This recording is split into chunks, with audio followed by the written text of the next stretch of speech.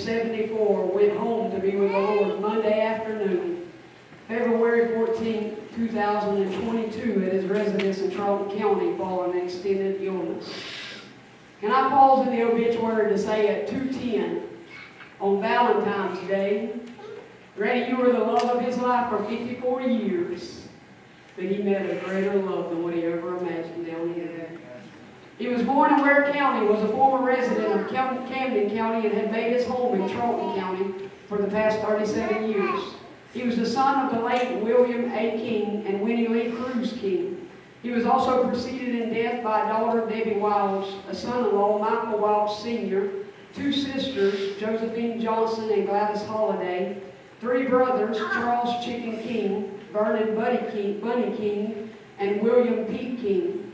He was a retired commercial fisherman and a member of Rehobeth Christian Fellowship Church of Folkston, Georgia. He was an outdoorsman and loved to fish and to hunt.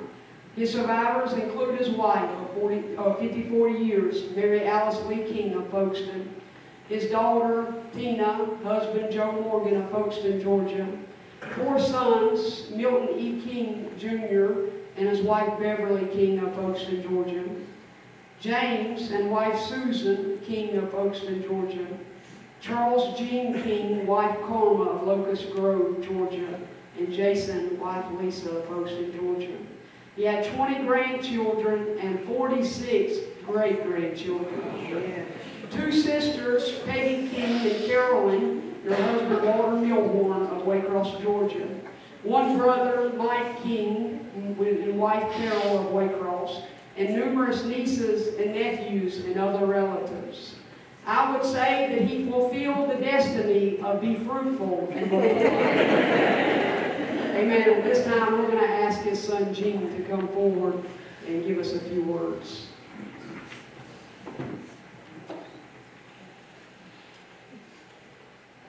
Y'all hold on to your seat. Hey, Daddy would want everybody to have a good time. Would thank y'all for coming out. But if y'all seen in the pictures, Daddy was skinny for a long time. I don't know if it's because Mama's good cooking got better. All of us kids grew up and left, so. And you see him fish that he was opening up, they kept getting bigger. Every time he tell a story, it's going out like this, get bigger. But Daddy would be glad that y'all was all here. And uh, he used to pick out all his daughters and laws. He would say something little like, Susan, she burned anything in the yard. He said, Lisa, wear the pants in the family. Bev couldn't see you. If he waved out on the road, she'd never seen you. Then Carmen, he made fun of for not eating brown eggs. Yeah, I couldn't find nothing on Joe, but I talked to Tina, and she said one time Daddy said, Joe, get the dogs and load up, we go hunting. Y'all seen Joe, he ain't big. He grabbed the leash, the dog snatched him into the truck, put it in Daddy's truck. But, I'm glad y'all came out, and Uncle Buddy, you know he loves you. That was Daddy's best friend and brother and everything, you know. And he was a brother, Buddy was a brother. But Daddy wouldn't want nobody to be sad here. He wants you to have a good time, enjoy his life, his fun. And I found out, I've got two more stories, because Nicholas just informed me today, I just found out. Only grandson, I think, might not get whipped by Daddy. But Jason told me a story one time. My son said, Daddy, Papa whooped me and Sam. He said, you always said how bad he whooped y'all. He said, we never got a whipping. He said, one day, me and Sam was doing something. He said, well, Papa, Sam's the meanest one of all. When they get, he said, Papa gets them up there and starts whipping Sam. He said, Sam went to swallowing. Jason said, I went to crying. He didn't even touch me. Y'all know, I love everybody. I'm glad y'all come out, but you gotta celebrate life. You don't want no, nobody here to be sad. He wants you to come here, have a good time, enjoy yourself.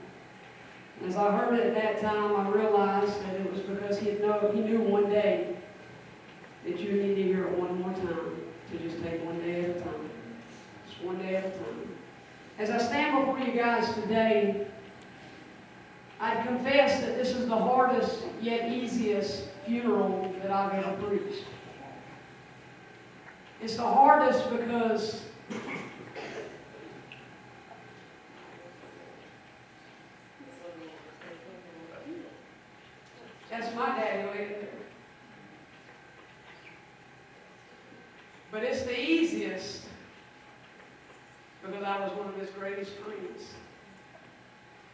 As I look and I've said it and I see the wife of 54 years and the mother of her hurting children and the world's best grandmother, the godliest woman that I've ever met.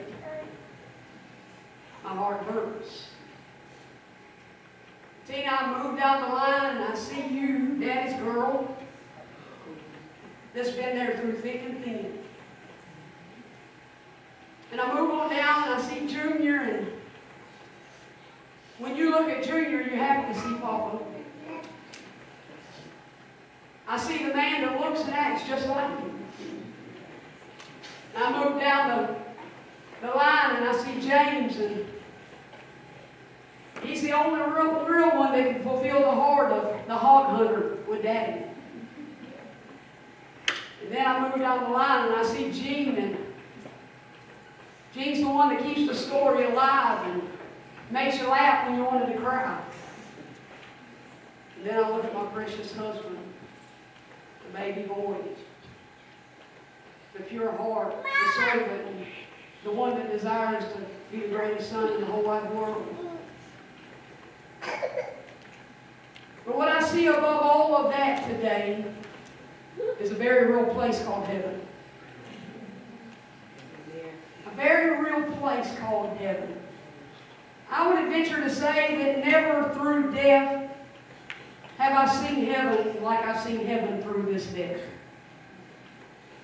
And so with the help of the Lord today, I'd like to speak to you on this topic. I can only imagine.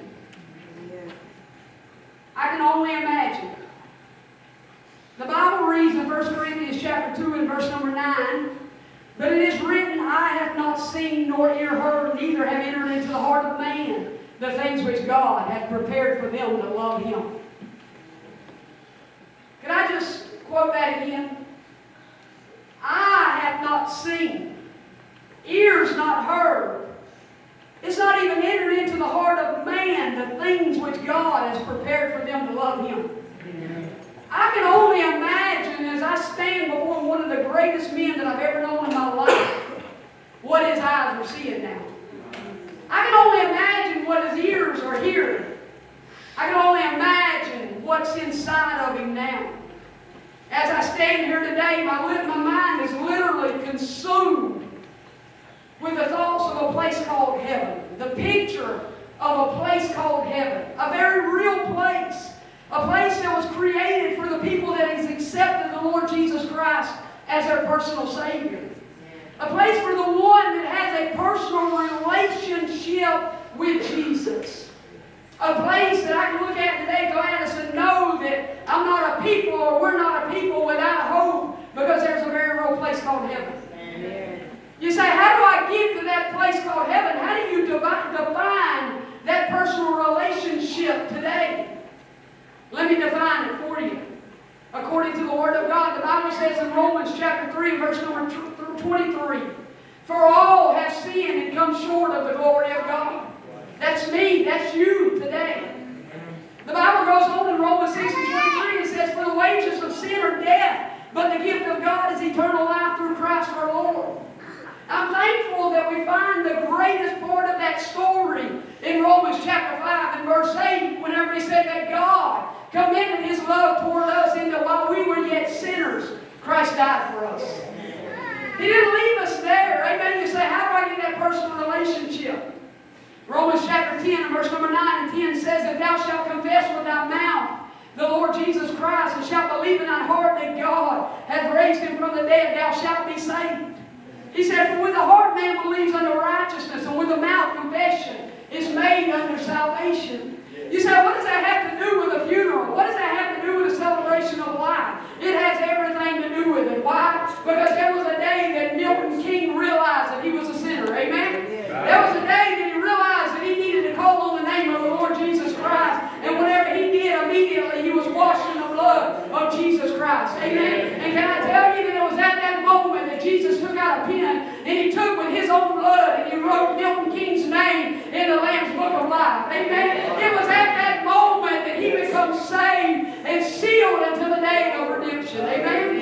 Immediately he was changed from an old sinner man that was on his way to a devil's hell. And now here he is, a saved man entering into the kingdom of heaven. Amen? The Bible says in 2 Corinthians chapter 5 and verse number 17, he said, Therefore, if any man be in Christ, I come to proclaim to you that Milton King was in Christ. Amen? If any man be in Christ, he's a new creature. Old things are passed away. Behold, all things become new. Amen? I, I've heard so many stories, and uh, Jason's told me whenever his daddy got saved, uh, it was such a transaction, it was such a transition of what they were used to that the, the kids begin to say, if daddy got saved, I've got to go to that church house and I've got to see what happened. Amen? Brother Buddy, you found out whenever Milton King got saved that something real was going on in the house of God. Amen? I'll tell you what it is. It was a transaction of the blood of the Lord Jesus Christ coming down to a sinful man and washing a black heart whiter than snow. Amen? What are you saying to me today? I was there whenever I was only 19 years old when that transaction took place and I began to witness as Milton King began to grow into the, one of the mightiest men of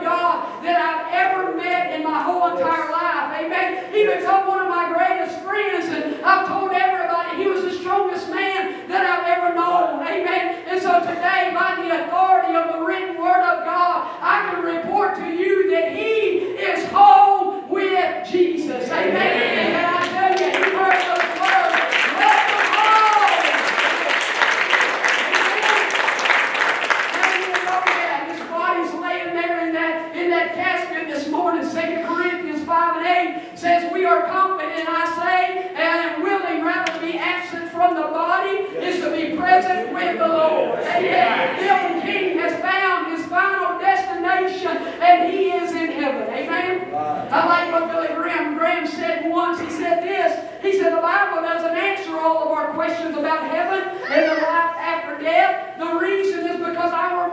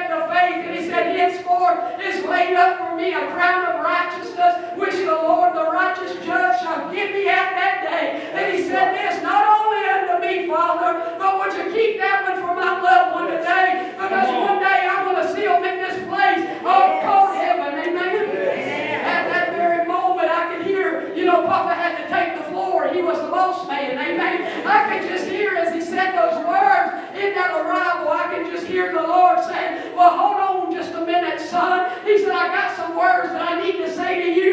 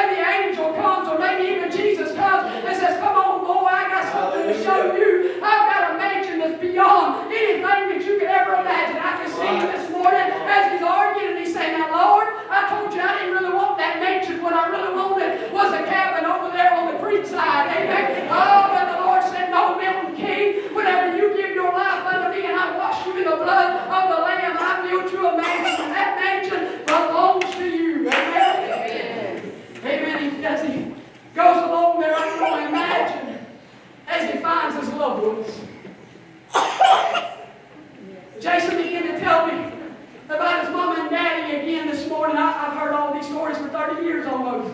And I love them every single time. Can you imagine? Jason said, Lisa, he said, I couldn't go to Granny and Grandpa's funeral, Papa King's funeral. He said, I just could not handle it. He said, I didn't go to either one of them. He, said, literally, they had to drag my daddy out of there.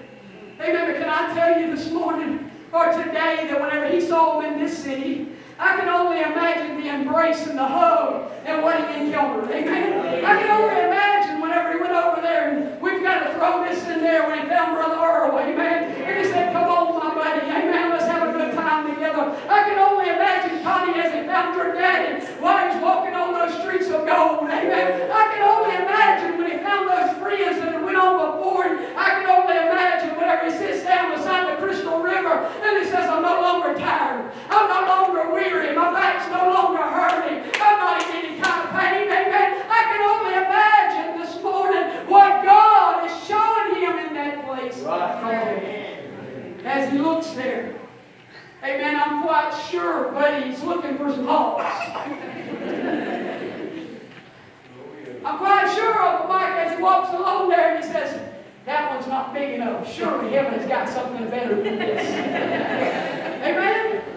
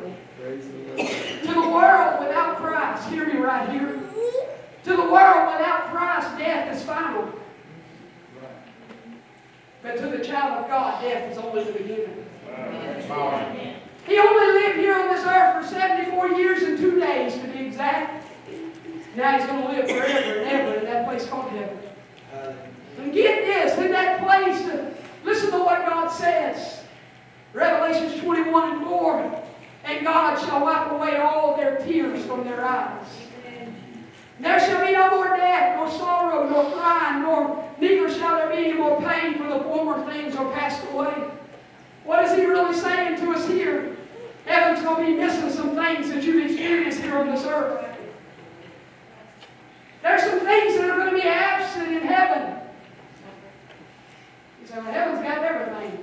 No, heaven doesn't have everything. According to the Word of God, heaven will be missing tears. According to the Word of God, heaven is going to be missing pain. Be missing crying, missing sorrow, and the greatest of all, heaven is going to be missing death. Amen. Amen. There's not going to be any more dark days there. There won't be any more trials or tribulations to face. There won't be any more pain to endure. Any more storms that you and I will have to walk through. As a matter of fact, everything's going to be perfect in that that is called heaven. Amen. I can only imagine as I look at it today that the only terrible thing about heaven would be this, is that if you don't meet us there. That's right. I can only imagine for that split moment that we have that recollection of realizing that we're missing you. You see, when Milton King surrendered his life to the Lord, it was such a transaction that people began to say there has got to be a God in heaven. The man that people said was mean, the man that people said could not say a sentence without several bad words in it. The man that it didn't matter whose child you were, he'd snatch you up, tear you up, put you back down.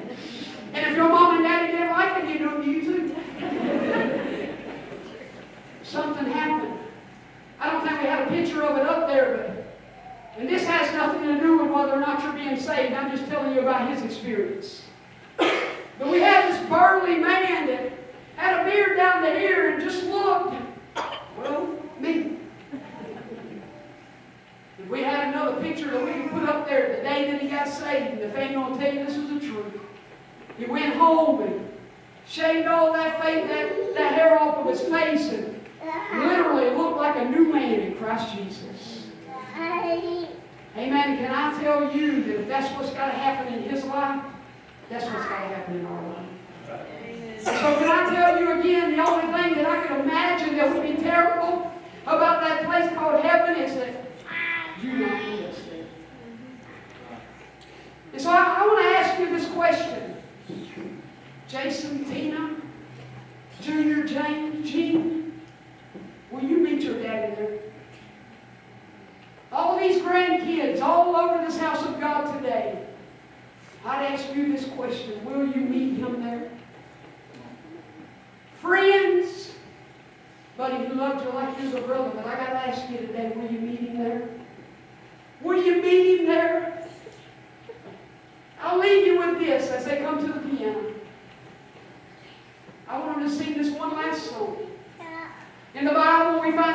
story of King David.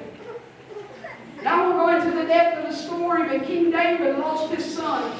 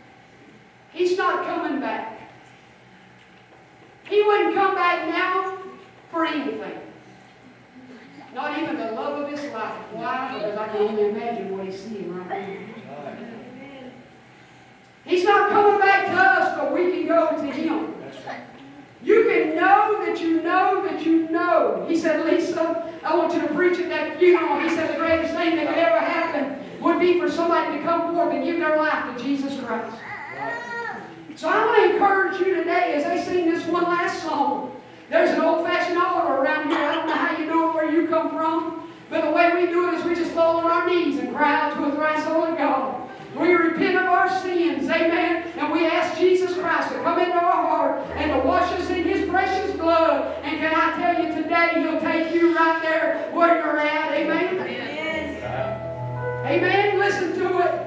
I can't, I can't bring you back to me. And I can sure know that my calling and my election is sure today, and I can go to Him. Amen. Would you imagine with us? I challenge you, children. Close your eyes. Begin to see what Daddy sees. I can only imagine. What about you today? Come on, let's see.